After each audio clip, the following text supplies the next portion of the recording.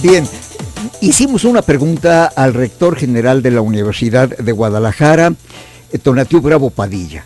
Señor, ¿recuerda el incidente, accidente, evento, hecho, experiencia del doctorado honoris causa a Luis Echeverría y luego pues del, del no rectorado honoris causa de doctorado honoris causa de Luis Echeverría? Sí, bueno, en aquel entonces lo que eh, nos han comentado, quienes protagonizaban, yo en lo particular era estudiante de preparatoria, eh, se dio una coyuntura en la cual eh, se buscó un acercamiento con el presidente Echeverría. Hay que recordar que Echeverría tenía el estigma del 68 y que en un intento por reencontrarse con la comunidad universitaria, él había acudido a la UNAM y ocurrieron hechos ahí de dificultad y de violencia.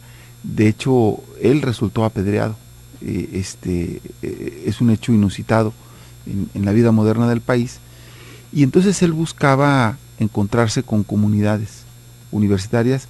Eh, lo que nosotros sabemos es que él buscó tener un reconocimiento de parte de las instituciones de educación superior y en este caso la Universidad de Guadalajara tenía varios programas habían sido apoyados, como el de la Universidad del Campo y algunas otras eh, acciones.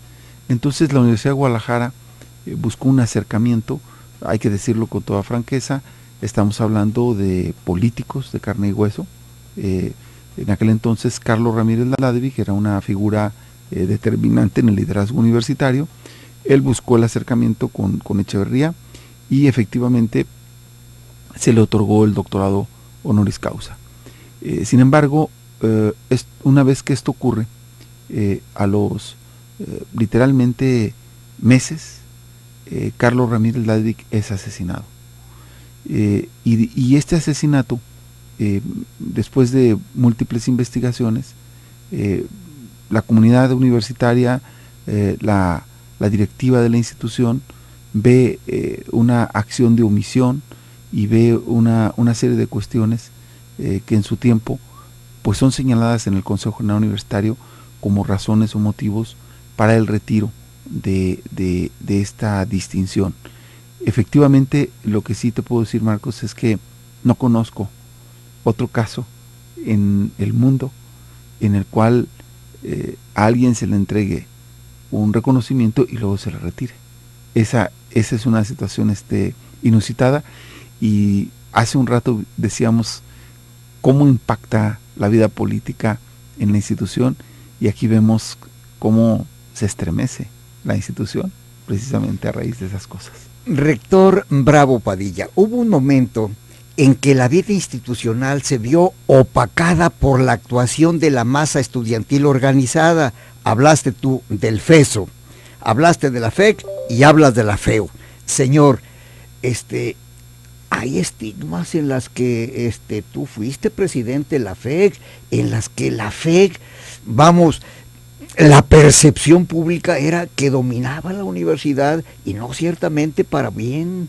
Sí, de hecho yo creo que eh, hay, como tú señalaste una palabra importante, claroscuros. Yo creo que hubo claroscuros eh, que fueron claramente identificados desde el punto de vista social pero finalmente la universidad tuvo un ciclo. El ciclo de la FEC terminó eh, y dio lugar ya a una circunstancia diferente. Eh, yo creo que ahora hay un mayor equilibrio y sobre todo una mayor presencia de la vida académica de la institución. Pero efectivamente eh, yo lo identifico tanto en la época del FESO como en la época de la FEC como un tema de claroscuros. Ahora, rector, cuando tú fuiste líder estudiantil en la FEC, vamos, ¿cómo practicabas tu sentir representativo? ¿Cómo veías la relación estudiante-universidad? Y sobre todo, FEC-universidad. Bueno, en, ese momento, eh, efectivamente, eh, hay, que, hay que tener en cuenta que la única manera en que la universidad conservara independencia eh, que no, no era autónoma, pero sí tenía un, rasgo muy distintivo de independencia, era justamente el tener una organización estudiantil eh, que fuera demasiado fuerte o demasiado presente eh, en el medio de político, en, las acciones con el gobierno del Estado, en fin. Creo que esa relación que se daba entre la FEC y la autoridad universitaria tenía que ver con, con esa necesaria presencia y ese sentido de independencia. Yo creo que una vez que ya se institucionaliza la autonomía de la universidad desde el punto de vista jurídico, bajo el cobijo del artículo tercero, yo creo que las cosas eh, en ese sentido cambiaron y posibilitaron una transición eh, distinta en la parte de la representación estudiantil. Rector, tú como presidente de la FEC, ¿llegaste a andar armado?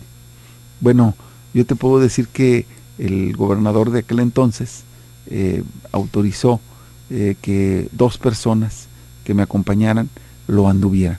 Eh, ese era el esquema eh, y, yo simplemente eh, en aquel tiempo lo único que quería era evitar problemas dentro de las, de las, de las escuelas. Nunca en lo personal cuidé esa parte en lo personal. hasta donde el esquema diera y aún así, cuando hubo problemas, pues hubo necesidad de tener que cambiar las cosas. Rector Bravo Padilla, ¿en dónde sientes tú que nació esa etapa armada, violenta, inclusive de muertes en la fe?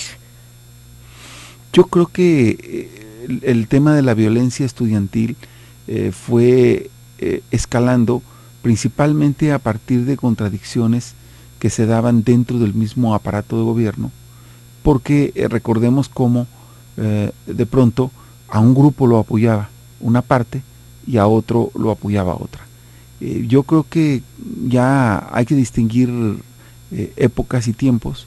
Eh, hubo un, momento en el cual era la existencia de partido prácticamente único y entonces ahí las huestes de, algún líder o dirigente apoyaban a una parte y, y la otra. Pero los acontecimientos violentos siempre han estado cerca de la vida de la universidad. Hay que recordar que cuando se da el choque después de mil, en, 1933, eh, es un choque violento el que se da eh, y que da lugar a eso. Eh, y luego después, la época de los galleros del Freu, etcétera, también son situaciones de esa naturaleza. Por eso digo que en esa parte la vida política del Estado tiene palpita, tiene mucho que ver, está muy correlacionada con los acontecimientos internos de la universidad. Pero ahora lo que debemos de valorar bien, Marcos, es finalmente si como institución tuvo la oportunidad la Universidad de Guadalajara de rehacer, de repensar sus relaciones y de eh, presentarse, eh, de tener la capacidad de transformarse, ¿no? Entonces yo creo que eso es lo importante de la universidad, que no obstante que ha vivido los signos de su tiempo, eh, a final de cuentas ha tenido las fuerzas, el potencial institucional que le permita recuperar plenamente sus capacidades, su valor y eh, poderse relanzar eh, hacia una nueva parte de la historia, hacia un nuevo futuro. Donativo Bravo Padilla, rectores, líderes estudiantiles, gente destacada de la universidad ha ocupado cargos públicos. Y tú mencionaste hace un momento, cuando había un partido que era prácticamente único, este, algunos activistas de la vida universitaria, pues encaminaban, pero, pero casi con boleta segura a un cargo público, diputados o qué sé yo. Señor, ¿cuándo comenzó a cambiar PRI por otros partidos? o, mezclar otras tendencias políticas. Esto ocurrió, Marcos, esencialmente a raíz del asesinato de Carlos Ramírez. El asesinato de Carlos Ramírez eh, generó una ruptura eh, de, la relación que había eh, de manera previa en lo que se denomina el grupo UDG o relacionado con la universidad con, con, el PRI. Y lo que ocurre mm, es que esa ruptura hizo mantener a, la parte eh, que continuó militando dentro del Partido Revolucionario Institucional en esta tesitura, pero por vez primera ya no a todo el conjunto. Y entonces ahí es donde eh, se empezó a tener una participación en partidos de izquierda, en otras opciones y finalmente también cuando viene la alternancia, pues prácticamente ya eh, la participación en distintos institutos políticos se convierte literalmente en una regla. ¿Por qué Tonatiu Bravo Padilla en el PRD y no en el PRI? Bueno, ah, yo realmente creo que eh, a mí me toca, como dirigente estudiantil, eh, no hay que olvidar, me toca el año de 1988, concretamente la elección de Salinas. Y eh, la elección de Salinas marca un, viraje social muy importante. Hay que recordar que en aquel tiempo emerge Cuauhtémoc Cárdenas este, por primera vez como candidato. Y bueno, en esas circunstancias eh, para mí como joven eh, me parecía eh, que, tenía muchas mayores oportunidades de identificación en la parte de la, de la izquierda. Sin embargo, mm, siempre he mantenido una buena cantidad amigos y de relaciones con gente que milita, que es parte del PRI, y también afortunadamente con gente que milita y, y, trabaja en el PAN.